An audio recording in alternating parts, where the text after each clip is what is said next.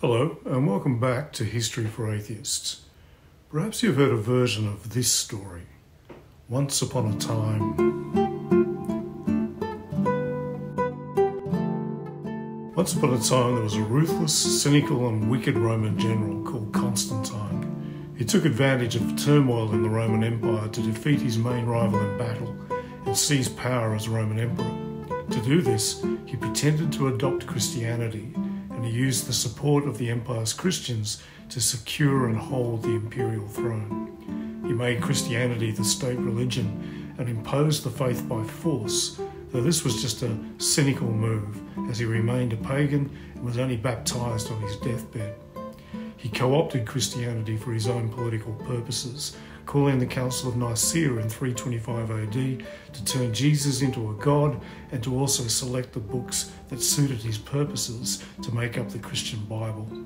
So far from being a holy book, the Bible, venerated by Christians to this day, was actually created by a violent pagan Roman emperor for political reasons. This is a dramatic and rather ironic story, and it's one we often find retold in popular culture. It's a key claim in the supposedly historical background to Dan Brown's schlock airport thriller, The Da Vinci Code. And unfortunately, it gets repeated by many prominent atheists, despite the fact that it's complete nonsense. For example, here's podcaster, comedian, and atheist Joe Rogan in 2015 giving his learned assessment. Not well, the New Testament was made by Constantine, who was a fucking Roman emperor who wasn't even Christian. Mm. He didn't even believe it. He was he was he was he was he became a Christian on his fucking deathbed. Like that's when he became a Christian. Like all these people that are like really into the New Testament, mm. and like I'll talk about Old Testament shit, and people get mad at me on yeah. Twitter. They'll send me this fucking hate text. You understand, motherfucker, what the difference is between the Old Testament and the New Testament? Because the New Testament is utter horseshit. It's created by a bishop and a fucking emperor. That's a fact. That's like established religious fact. Like everyone knows where it came from. And not only that, it was written hundreds of years after the death of Jesus. So what are you talking about? What are you talking about indeed?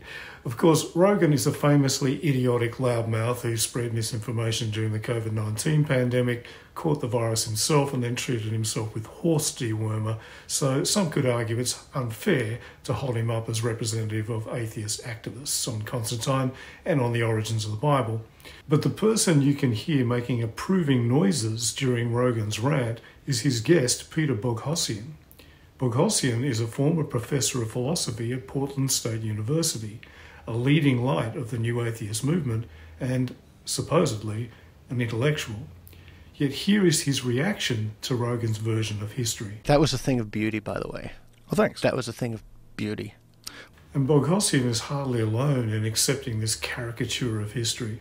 In 2019, the doyen of New Atheism, Richard Dawkins, released Outgrowing God, a kind of atheism primer aimed at teenagers.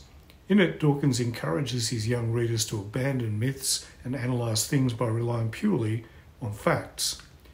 This is admirable advice, but unfortunately, Dawkins' grasp of history depends on several, well, myths, including several repeated claims about Constantine.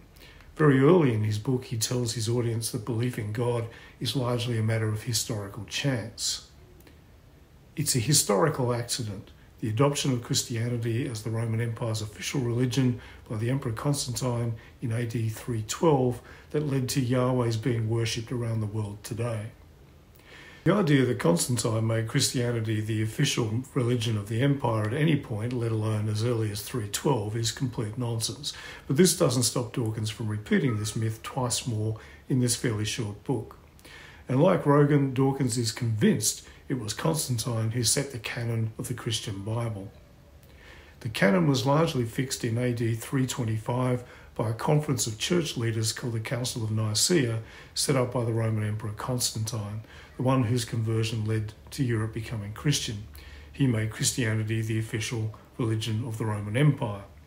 Dawkins likes this claim so much that he repeats it no less than seven times in the book. He also claims that the four Gospels supposedly selected by the Council of Nicaea were chosen from a plethora of alternative Gospels, saying there were about 50 of them. So here we have a leading atheist activist, described in a blurb on the book in question as no less than one of our greatest explainers, thinkers and writers, making much the same claim as the ranting lunkhead Joe Rogan. And every single one of these claims is nonsense.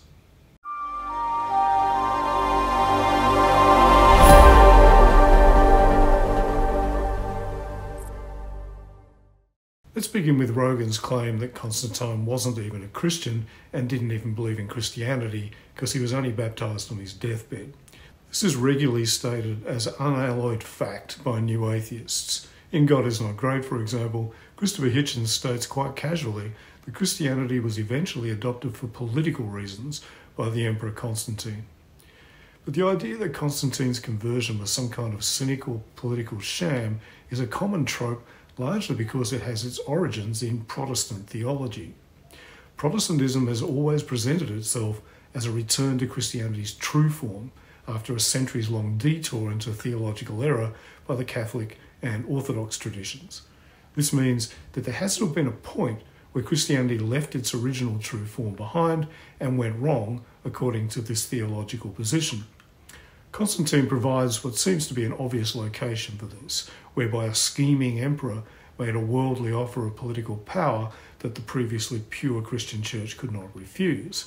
This is why Protestants tend to see Constantine as a villain, while Catholics tend not to, and the Orthodox tradition actually venerates him as a hero and even as a saint, giving him the Greek title Isapostolos, or equal to the apostles.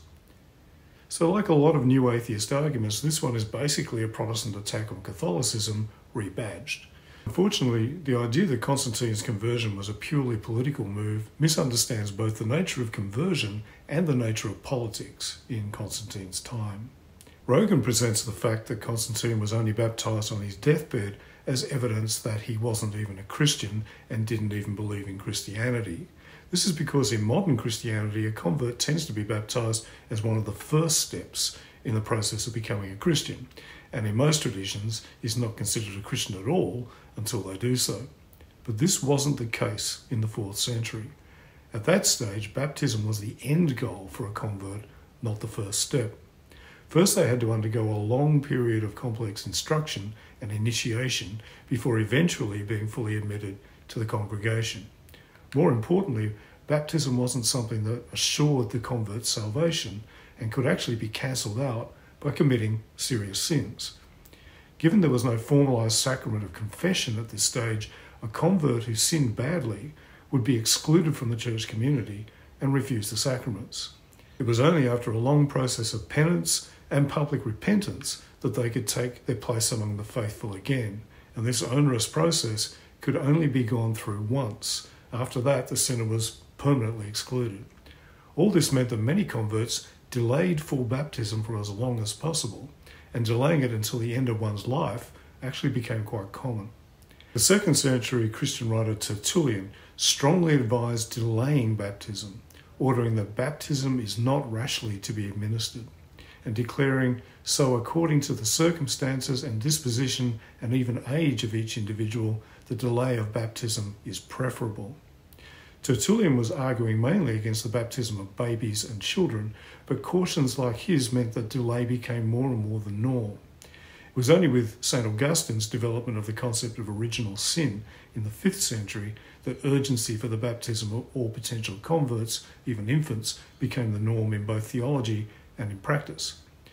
So far from being evidence that Constantine didn't really believe in Christianity, his delay is actually a sign of his sincerity. The delay also made sense for him given the nature of being a Roman emperor in this period.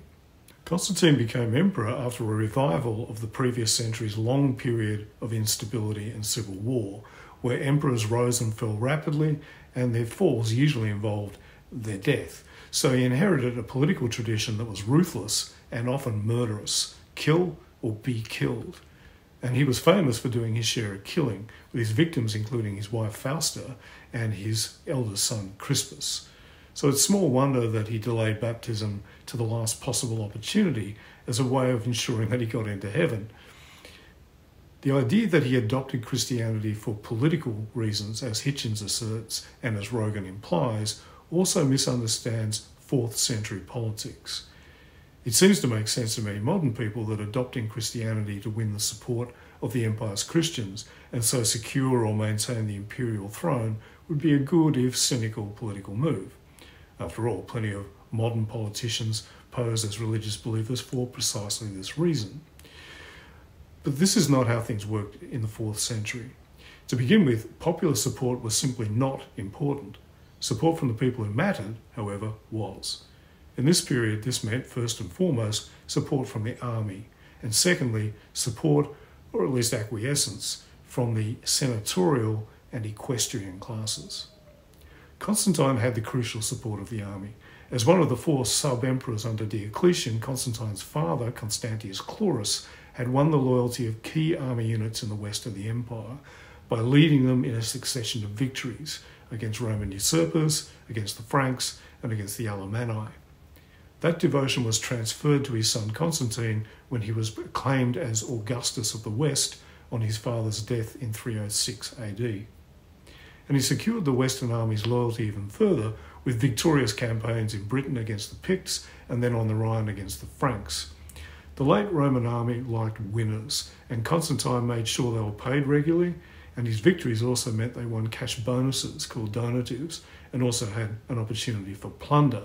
So, well before he made his bid for the emperorship in 310, he had the full loyalty of the large Western forces under his control. After he won the imperial purple, he maintained the loyalty of the whole empire's forces throughout his long 31 year reign. This support had nothing to do with any conversion to Christianity. To begin with, he'd secured it years before he converted in 312 AD. More importantly, the army was not substantially Christian. In fact, at this stage, Christians would have formed quite a small minority in the ranks. This is partly because Christianity was still a relatively small sect in the early 4th century. But it's also because Christianity had long been somewhat pacifist, and most Christians had traditionally avoided military service. Early Christian pacifism has often been overstated by some Christian scholars, and there's certainly good evidence of Christian soldiers in the Roman army well before Constantine's time. But this evidence indicates their numbers in Constantine's army would have been quite small. So the idea that he converted to win support from his troops makes absolutely no sense. He already had that support, and those troops cared about victories, regular food, pay, and plunder not what gods their commander did or didn't pray to. Constantine gave them more than enough to secure and maintain their all important loyalty. After all, emperors who lost that loyalty usually ended up dead pretty quickly. Maintaining the support of the senatorial and equestrian classes, however, was a trickier proposition, though an emperor with a loyal army at his back was usually able to achieve this. These were the aristocratic and educated elite class that formed the backbone of the Roman administration, and they were crucial to any emperor's rule, as they made up the huge bureaucracy that Diocletian had established late in the previous century. Again, far from being impressed by a conversion to Christianity, this caste was overwhelmingly pagan and highly conservative when Constantine came to power. Christianity was, as I just mentioned, still a very small sect in this period, even the higher estimates have Christians at no more than 10 to 15% of the total population of the empire in 300 AD, and there are good reasons to think the figure could be substantially lower than that. More important than the numbers here, however, is who these Christians were.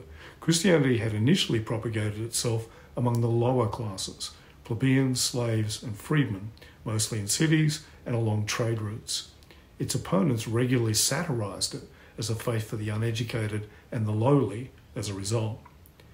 By the early 4th century, this had changed to some extent, and we have evidence of more wealthy and sophisticated Christians, though largely because most of our evidence comes from those wealthy and sophisticated Christians. But the fact remains that not only was the empire's population of Christians small, but it was also largely socially and politically powerless and unimportant. The elite and the politically significant were overwhelmingly pagan and generally regarded Christianity with a degree of distaste, if not outright contempt and opposition. After all, it was this elite that had carried out Diocletian's persecution of the Christians from 303 AD, which Constantine finally ended in 313.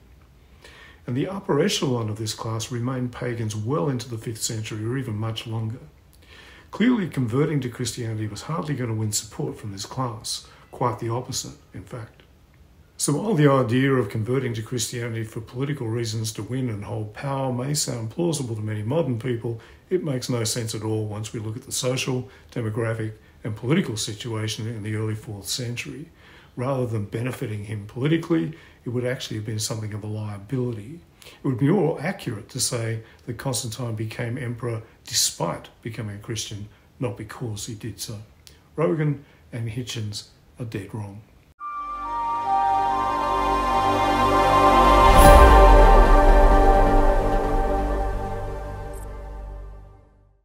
So, was his conversion genuine or was he still some kind of pagan? Here, things are actually a little bit more complicated. Rogan may have based his belief that it was not genuine, or that he didn't convert at all, on his misunderstanding of the significance of deathbed baptism in the 4th century. But there is other evidence that often gets invoked to argue that Constantine remained a pagan, and either that the Christian sources lied about him becoming a Christian, or his conversion was some kind of political sham. After all, Constantine raised a victory arch in Rome in 315 to celebrate the defeat of his rival Maxentius at the Battle of the Milvian Bridge three years earlier. This was the battle he had won because, according to the Christian sources, he'd seen a vision of Jesus, and so his victory was the reason he converted to Christianity. Yet the arch has no reference to Jesus or Christianity in its inscriptions, and no depiction of anything Christian in its iconography. On the contrary, its decoration includes depictions of pagan gods and spirits. His coins also often depicted pagan gods, especially Victoria, the goddess of victory, Roma, the divine personification of Rome, and particularly the sun god Sol Invictus. And there's other evidence that is cited supporting the claim that he remained a pagan. Inscriptions show that he accepted and used the pagan title of Pontifex Maximus, or chief of the ancient College of Pontiffs, a high ranking pagan priestly office which had been held by the emperors since Augustus. He raised a column in his new capital of Constantinople that was topped by a statue of Apollo with his face and was turned towards the rising sun. He gave permission for at least one temple to worship him as a manifestation of the sun god, and we have inscriptions to him as a solar deity.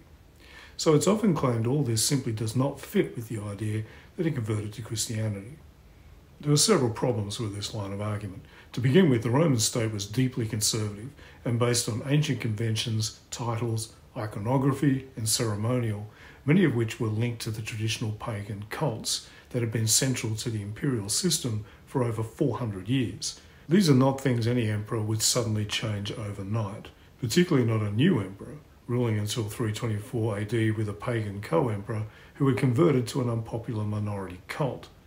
So it makes sense that many of the traditional titles, imagery, and trappings of the emperors would be retained by Constantine, at least initially, even though they were overtly pagan. While Constantine ruled longer than any of his immediate predecessors and maintained a tight grip on power, this was by no means guaranteed when he first seized the emperorship. The previous century had seen emperors rise and fall in rapid succession, and so recent history taught that emperors who gained power by military means generally lost it again soon afterwards, along with their lives. As I just mentioned, Constantine ruled with a co emperor, Licinius, who was more of a rival than a partner. They fought a war in 314 and then maintained a very uneasy truce for the next 10 years until Licinius's final defeat and execution in 324. So, for the first 18 years of his reign, Constantine's hold on the emperorship was far from secure. This meant he was hardly going to impose his religion on the empire by force or by imperial mandate, at least not in the first part of his reign. This combination of Roman conservatism and Constantine's need for a degree of diplomacy explains why we still find pagan elements and trappings associated with him. Let's take the Arch of Constantine in Rome again, for example. There are good reasons it includes pagan elements and has no overtly Christian ones. To begin with, very little of the decoration on the arch is original to it. As with many Roman monuments, most of its carvings were not newly created, but were recycled from earlier triumphal works raised by Trajan, Hadrian, and Marcus Aurelius. These elements included depictions of pagan gods and river spirits and the goddess Victoria. The elements that were created specifically for the arch, on the other hand, have no overtly Christian ones, but no pagan ones either. These consist of the frieze depicting the defeat of Maxentius and the archer's dedicatory inscription. The inscription is interestingly neutral on anything religious. It has no invocations of Jupiter, Mars, or Sol Invictus, but hails the Emperor Caesar Flavius Constantius, the greatest pious and blessed Augustus, and says he was inspired by the divine and by the greatness of his mind to deliver the state from the tyrant. The words used here, instinctu divinitatis, can mean inspired by the divine or inspired by a divinity, but either is ambiguous and neutral on which divinity or what divine element inspired him. Again, there's nothing overtly or specifically pagan or Christian here. Both can be read into what the inscription says, and that actually seems to have been the idea. Some of Constantine's coins, on the other hand, do include overtly pagan images and inscriptions. For example, this coin, dated to about 314 and so very early in Constantine's reign, has the emperor's head on the obverse and the sun god Sol Invictus on the reverse, with the inscription Soli Invicto Comiti, or the unconquered sun my companion. A slightly later gold coin, dated to 320, has a reverse where Sol Invictus greets Constantine while holding a globe, topped with a figure of Victoria. The inscription reads Soli Comiti Augusti Nostri, or the sun companion of our Augustus. But it's notable that these coins generally date to early in Constantine's reign, and again largely to the 18 years in which his rule was not yet secure or when he was sharing power with his pagan rival Licinius. Once he became sole emperor, we begin to see Christian symbolism on his coins. Many of these feature the Chi-Rho symbol, which uses two Greek letters to stand for the title of Christ. This one from 334 shows the Chi-Rho between two military standards, and this one from 327 depicts it on top of a vexilla flag. And the medallion he issued very early in his reign, possibly as early as 316, is one of several that depict the emperor wearing the Chi-Rho symbol on his helmet. This is something his Christian biographer Eusebius says was common for Constantine. So we have mixed iconography for Constantine early in his reign, but more consistently Christian symbolism on his coins later. It should also be remembered that coins are highly conservative in their iconography. For example, British coins carry the letters FD, standing for Fidei Defensor, or Defender of the Faith. This is supposed to refer to the British monarch's role as the head of the Church of England, but the title was first granted to Henry VIII by Pope Leo X in 1521 to recognise his defence of the Catholic sacraments. Henry was to break with Rome and his successors became heads of a Protestant church, but British coins still carry a reference to this Catholic title to this day. Any historian in the distant future who interpreted this as evidence that the British monarchs were secretly Catholics would be, of course, completely wrong. But it's not just political diplomacy and conservatism that accounts for the somewhat mixed evidence regarding Constantine and religion. The nature of religious practice in the 4th century also meant that while a modern person may expect a sudden and complete break with any form of paganism once someone converted to Christianity, this is not necessarily how things may have played out for someone like Constantine. The evidence could well be reflecting an evolving understanding of what he believed about Jesus, with a slower transition from a pagan worshipper of the sun gods, Sol and Apollo, to one who saw Christ and the sun god as similar, or even as the same figure, to eventually someone who came to reject other gods but still saw Christ rather like a solar deity. The Christian writers Eusebius and Lactantius give idealized versions of the emperor's conversion, with both telling stories of a vision he saw before the Battle of the Milvian Bridge and Constantine attributing this victory to Christ and thus making a sudden and complete conversion. Eusebius's version is the most dramatic. In it, Constantine notes that the emperors before him who had failed and died had worshipped many gods, so he decided to pray for guidance to the one supreme God. He was then rewarded with a vision, and Eusebius assures the reader that his account comes directly from the emperor himself, and that Constantine confirmed this statement with an oath. In Eusebius's telling, he said that about noon, when the day was already beginning to decline, he saw with his own eyes the trophy of a cross of light in the heavens above the sun, and bearing the inscription by this conquer.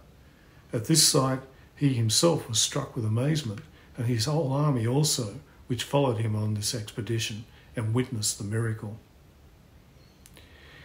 In this account, Constantine is then visited by Christ in his sleep, who commanded him to make a likeness of that sign which he had seen in the heavens and use it as a safeguard in all engagements with his enemies. So Constantine does this, ordering the making of a gold and jewelled Chi-Rho standard, which Eusebius says he later saw. Led by this divinely ordained standard, his army won its victory the next day. But things get more complicated when we compare this with Lactantius's account. Lactantius was even more closely acquainted with the emperor, since he was the tutor of Constantine's eldest son, Crispus. His version of the story is also written quite close to the events, not decades later like Eusebius's version. In his treatise on the deaths of the various Roman persecutors of Christianity, Lactantius gives a rather different story about Constantine's conversion. In this one, we do get a dream, but no vision witnessed by the whole army. Constantine was directed by a dream to cause the heavenly sign to be delineated on the shields of his soldiers and so proceed to battle. He did as he had been commanded, and he marked on their shields the letter X with a perpendicular line drawn through it and turned around thus at the top, being the cipher of Christ, and having this sign, his troops stood to arms. Again, he goes on to win his victory under the Christian sign. Complicating things further, we have an anonymous panegyric, a poem of praise, dating to two years before the fateful battle, which talks about a quite different vision. According to this poem, in 310, Constantine had just won an earlier battle against Maxentius's father, Maximian. After the battle, Constantine visits a temple of Apollo in northeastern Gaul, and there he sees a vision of the god Apollo, who gives him laurel wreaths and predicts a long life and rule as an emperor. Of course, there have been many attempts to reconcile these stories, but their common elements and the fact that at least two of them are based supposedly on Constantine's own account indicate that he was, like many in the ancient world, very open to dreams and visions of the divine. He may have seen no contradiction, at least initially, to believing in both Apollo and Christ, and may even have conflated the two. It could be that his memories and interpretations of what he saw or dreamed changed over time as he became more clear on Christian doctrine and his former polytheism gave way to a henotheism where he saw a solar deity version of Christ as his main god, and then eventually this developed into a more orthodox monotheistic form of Christianity. What is clear is that he regarded himself as a Christian and was seen as one by his contemporaries, Christian writers like Eusebius probably exaggerated his orthodoxy, but even pagan historians like Zosimus agree that he definitely converted to the new faith. Writing in the early 5th century, Zosimus condemned Constantine for abandoning the old gods and claimed his conversion was simply a way to find forgiveness for the murders of his wife and son. After being told by pagan priests that there was no way to cleanse him after such terrible crimes, Zosimus says, an Egyptian arriving from Spain and very familiar with the court ladies, being at Rome, happened to fall into converse with Constantine and assured him that the Christian doctrine would teach him how to cleanse himself from all his offences, and that they who received it were immediately absolved from all their sins. Constantine had no sooner heard this than he easily believed what was told him, and forsaking the rites of his country, received those which the Egyptian offered him.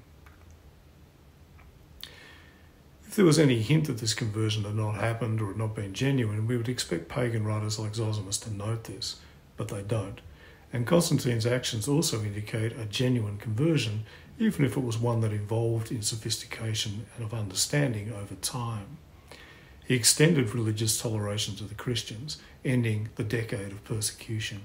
He also ordered confiscated Christian property to be returned, banned crucifixion and gladiator games, passed laws against magic and divination, promoted Christians to public office, built churches, and founded a new capital in which no pagan temples were to be established, while he also sponsored and encouraged the building of churches there. Any doubt about how Christian Constantine was should be tempered by reading his Oration to the Saints. Exactly when he gave this address is not clear, but it's a speech given in defense of Christianity which, if read aloud, would run to something like two hours. Given that most modern scholars consider it genuine, it makes it very clear that he had, by this stage at least, become a devout believer.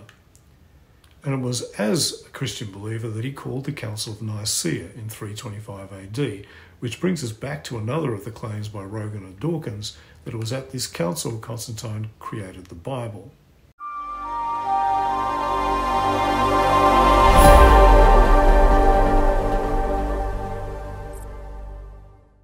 In his rant noted earlier, Joe Rogan assures his listeners that the New Testament is utter horseshit and was created by a bishop and a Roman emperor, something that he loudly declares is a fact, an established religious fact that everyone knows. Similarly, Dawkins repeatedly claims that Constantine created the Bible and did so at the Council of Nicaea. This idea is often repeated in pop culture and forms a central claim in the 2003 novel The Da Vinci Code and its 2006 movie version. Of course, there certainly was a council held by the Emperor Constantine at his palace in Nicaea between May 20 and around June 19 in 325 AD. And at it, bishops from across the Roman Empire gathered to vote on several things, including the date of Easter, the role of church law, and a number of administrative issues.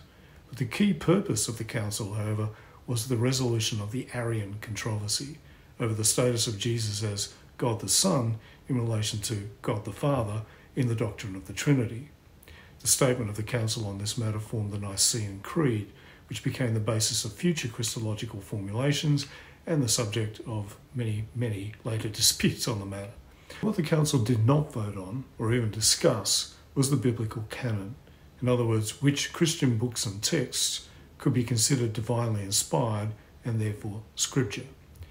Leading scholar Bart Ehrman is typically emphatic on the subject. The historical reality is that the Emperor Constantine had nothing to do with the formation of the canon of Scripture.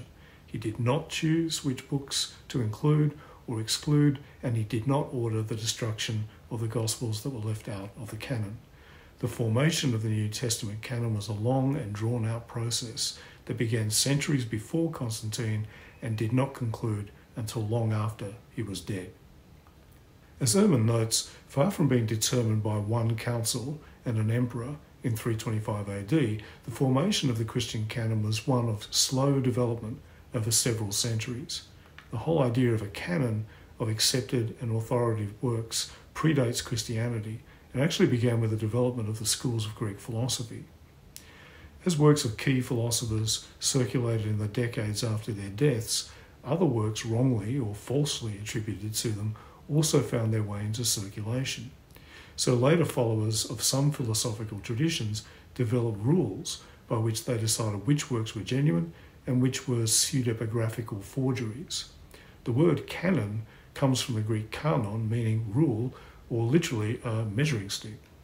By the early second century, Christianity had a similar problem, with a wide range of texts, letters, and gospels in circulation all claiming to be the authentic works of the first generation of Christians. Any given isolated Christian community may well have known of some of them, but not others. They may also have had copies of a few of them, but only heard of others, since copies of any books were expensive and precious. And they may also have used a variety of other writings, many of which did not ultimately find their way into the Christian Bible.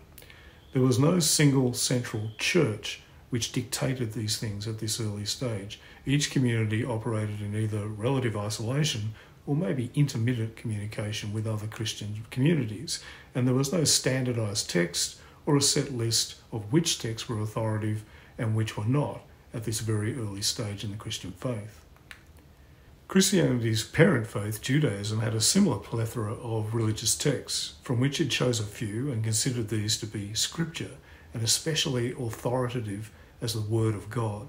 There's evidence that this idea was beginning to be applied to some of the early Christian writings as well, with references to four definitive Gospels being made by Irenaeus in the mid second century, and a reference to interpretation of the letters of Paul alongside the rest of the Scriptures being as made as early as around 120 AD. Contrary to Rogan's claims, these Gospels were written only a few decades after Jesus' time, not centuries later and contrary to Dawkins, they were not selected from about 50 Gospels.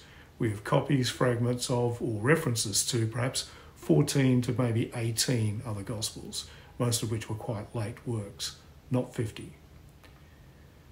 It seems here, though, that the heresy of Marcion was what gave second century Christianity the impetus to begin to define which of these various texts had the status of scripture and which did not. Marcion was born around 100 AD in the city of Sinope on the southern coast of the Black Sea.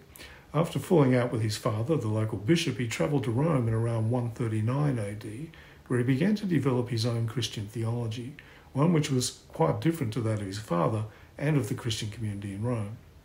Marcion was struck by the strong distinction made by Paul between the law of the Jews and the gospel of Christ.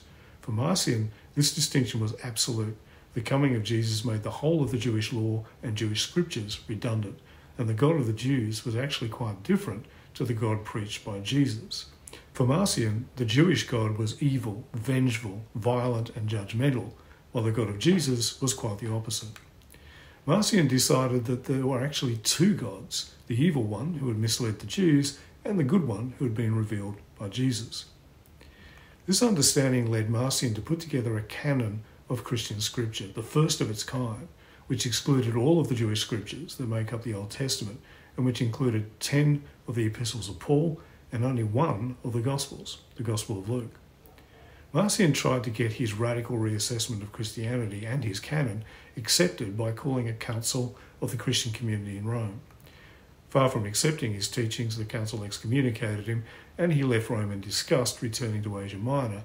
There he met with far more success, though, and Marcionite churches sprang up which embraced his idea of two gods and used his canon of 11 scriptural works.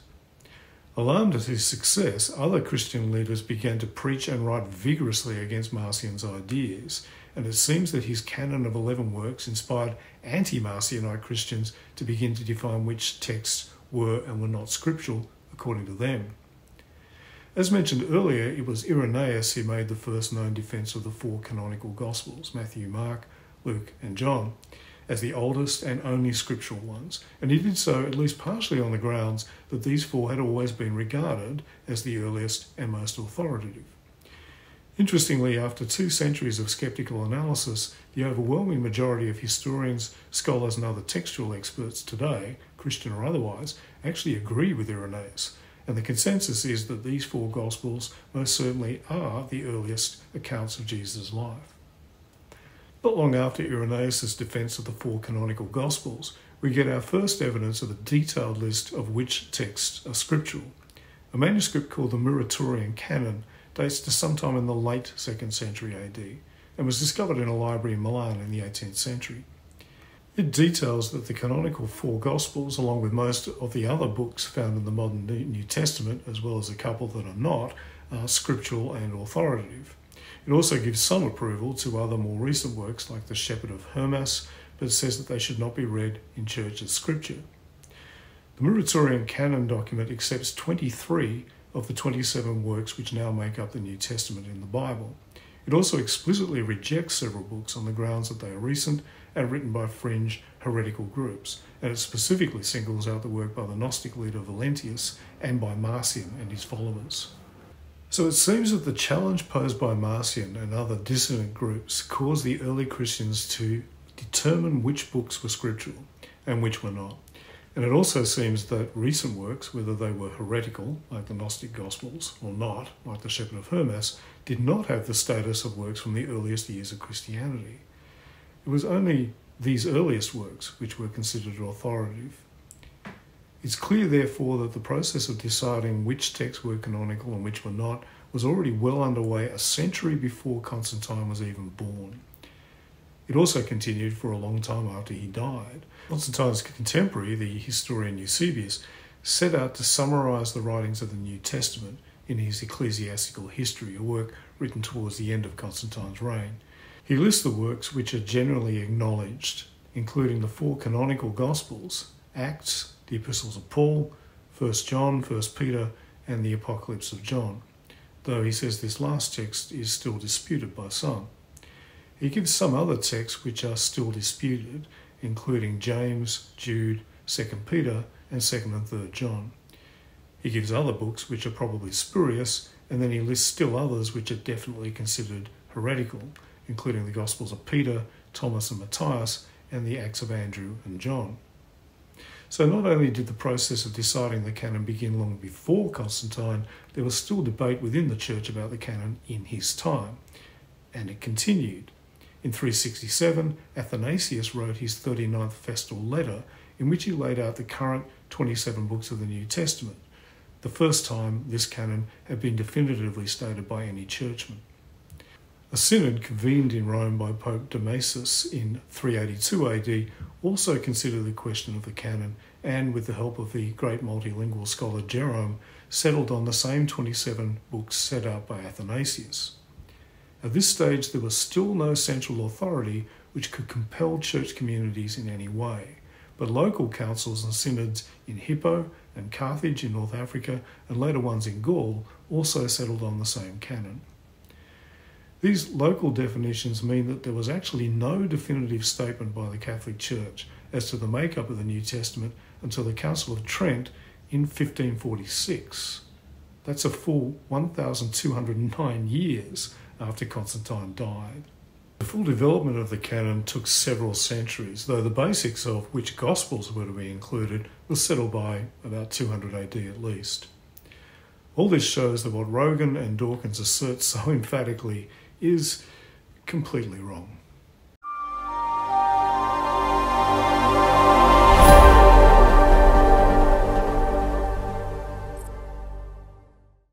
So, what Rogan and Dawkins claim is total garbage. But if that's so, where did the myth come from?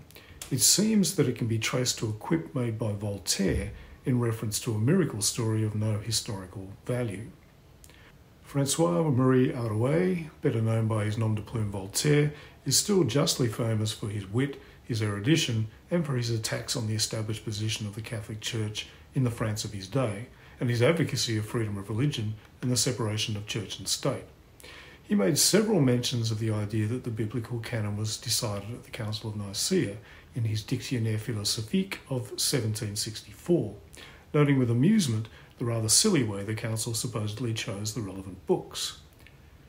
It is reported in the supplement of the Council of Nicaea that the fathers, when they had no idea how to determine which were questionable or apocryphal books of the Old and New Testament, piled all of them disorderly on an altar, and the books to be rejected fell to the ground. It's a pity this nice method has fallen into disuse nowadays. None of the accounts of the council from the time give so much as a hint about any such event, so Voltaire was clearly working from much later sources.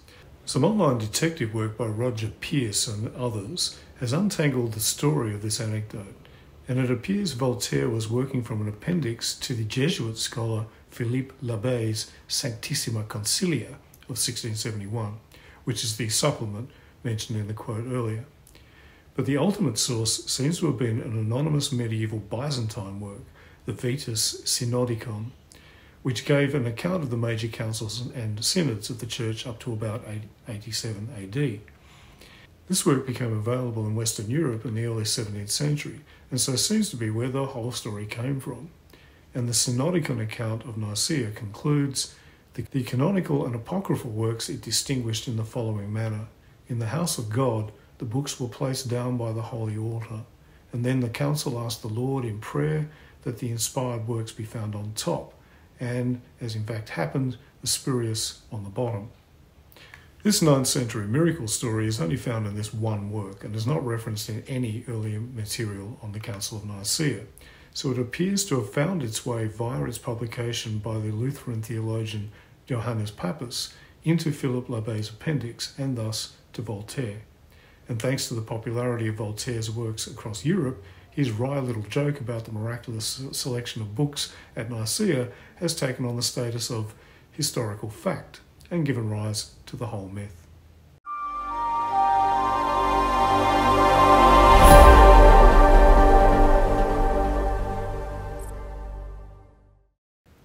So, what we see here is both Rogan and Dawkins have simply parroted a false factoid that appealed to them without bothering with the simplest fact checking.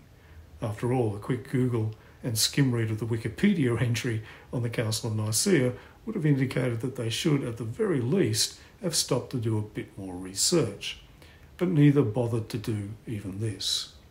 Rogan, I suppose, has the excuse that he's not exactly an intellectual and is basically a musclehead who shouts into a microphone for a living. But Peter Boghossian is supposed to be an educated man, yet he smugly praises Rogan's proclamations. Similarly, Dawkins is billed as one of the great thinkers of our time, and the late Christopher Hitchens is also held up as a beacon of rationalism. Yet none of these supposed rationalists can be trusted on these key points of history. The claim that Constantine's conversion was politically motivated doesn't make any sense, yet Hitchens declares it as a fact. The claim that Constantine was not actually a Christian is contrary to a massive evidence, yet Rogan shouts it as though it is history, while Boghossian nods approvingly. The idea that Constantine created the Bible is a complete myth, yet Dawkins states it repeatedly in a book aimed at getting teenagers to base their ideas on facts, not appealing stories. When prominent atheist thinkers and spokesmen spout nonsense at the same level as Joe Rogan and the Da Vinci Code, it's clear that atheist activism has a genuine problem when it comes to getting history right. These people need to do much, much better. See you again here soon.